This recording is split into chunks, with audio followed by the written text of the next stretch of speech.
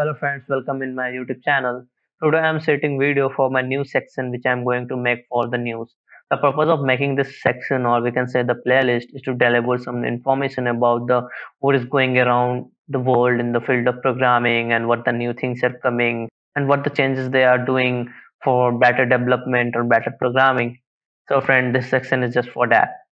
So friend, today I came with Dartpad as I earlier explained you what is Dartpad, something as so many programs I did on Dartpad, and I suggested beginners to use Dartpad for their programming because it explains better errors when you do while you're programming.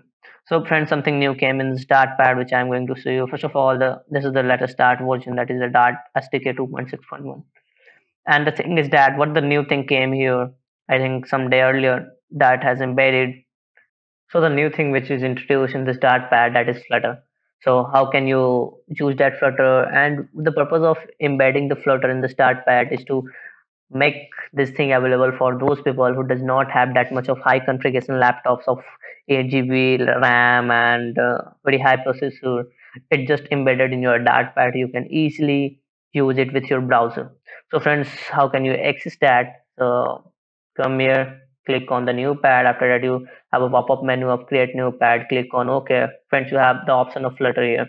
So you have to click here and you have to click on create. Yep we get it. So friends we know very well that android studio is very high ram consuming software which consumes almost 50% of your ram while it run on your pc so so somehow it is about the light experience towards the flutter. So many people are not using these features. So that did something for that. So friends let's come. Yeah you can see so many options in this menu. At the time when i was making that video at that time there is only option like WebSockets of html5 but now here are some more options of counter sunflower. So we can see it one by one. So start with sunflower.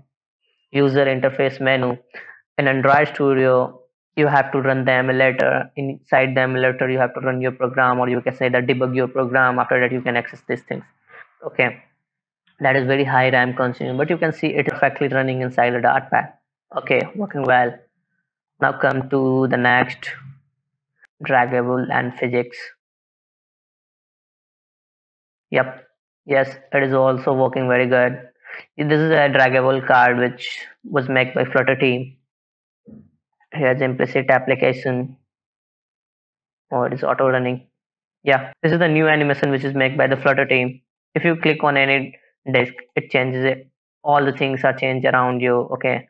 So this is a new type of animation which they make. A new thing which is introduced here that is of documentation. If you click here like these lines of flutter.material.dart if you after that click on documentation after that you can see here are some documentation about the youtube file. All those information are here in this documentation part.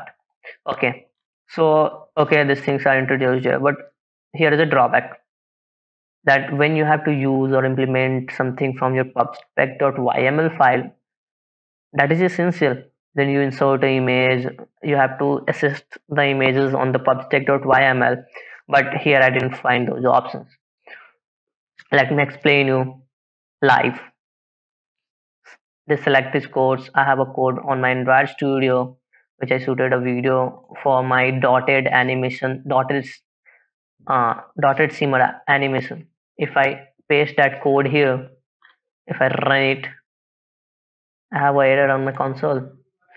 The error is unsupported input package shimmer slash shimmer dot dart.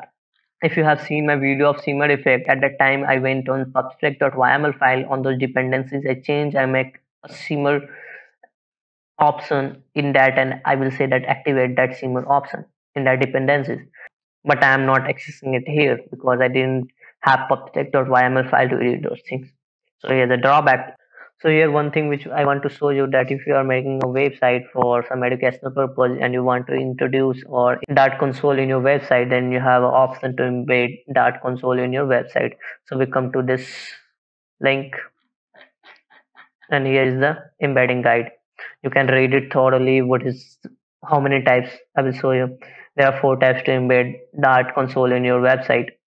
Embed dart html embed inline embed flutter embed html everything is same. You have just to copy this paste it in your html code. And if you want to embed dart embed inline just to replace this with embed inline. Embed with flutter replace it here. Embed html replace it here. Okay the sample website which i want to show you click on this link open it. Is the dart console.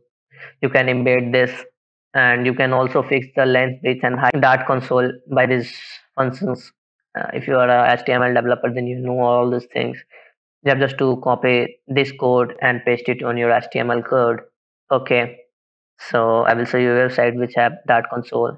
Here here is the website which have dart console and it is working well. Okay yes.